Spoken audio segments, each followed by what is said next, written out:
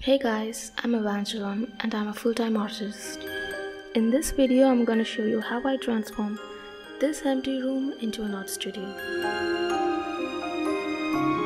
And I'll also be making a watercolor study from one of my favorite masters' self-portrait.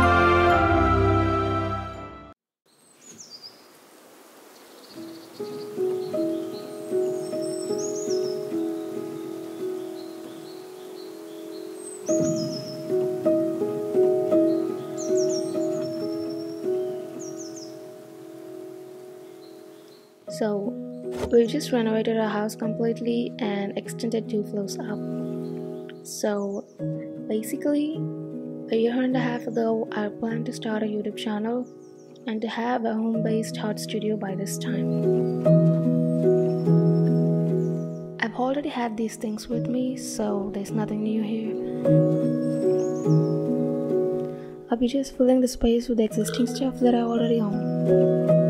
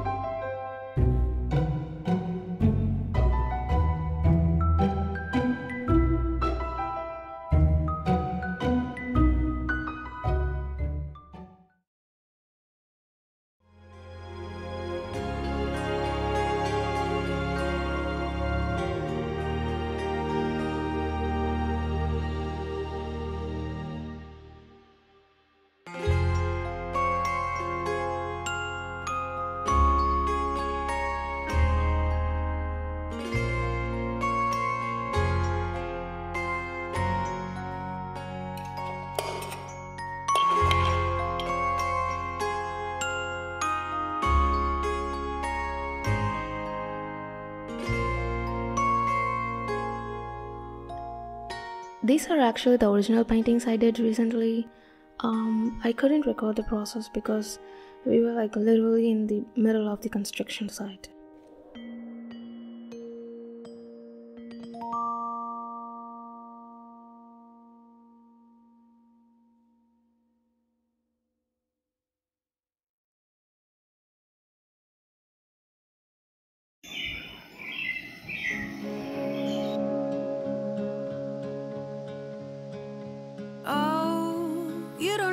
Let your body go.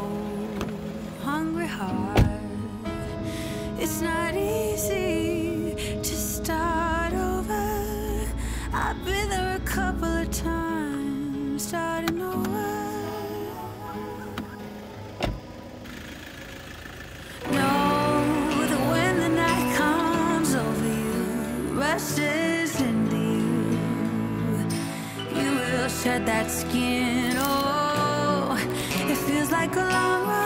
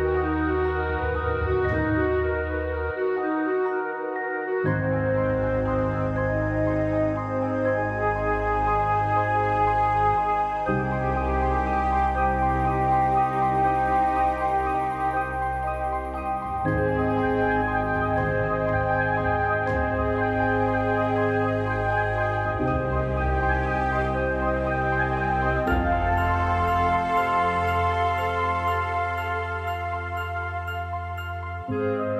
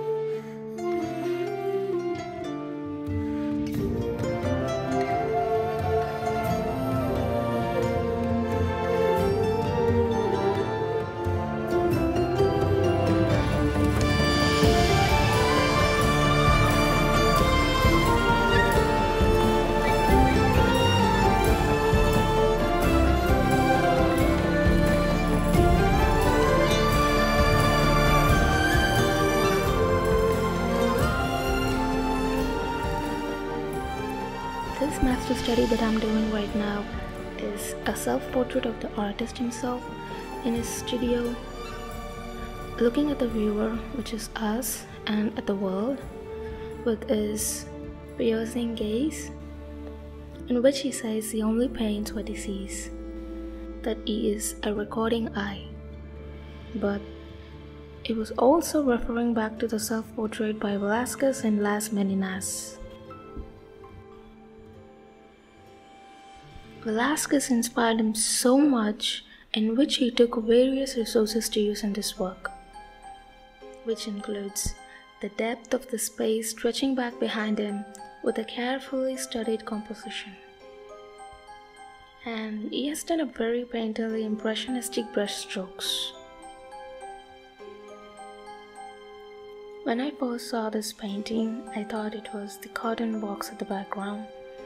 But just before I began to paint, I wanted to confirm what it was. It was actually a studio, and those were the backside of the canvases placed against the wall. I didn't know this before, but if you have watched my video from the beginning, you would have noticed that I did the same while I was organizing my studio. Sorolla used these to justify himself as a painter. He has used the traditional darker palette of Spain's Golden Age, but we all know that he is named for us, you know, people and landscapes under the bright, bright sunlight. He is like literally the master of capturing light. I know his older works has a few darker palette, but this portrait especially was so much inspired by Velasquez. Later in his lifetime, he was also inspired by the artists of his time, like John Singer Sargent and Monet. You could actually see in his other works if you're like ever stuck or if you don't know what to draw or paint, just study from the masters. It's really important. Just like we study from Sorolla or John Singer Sargent, they did it too.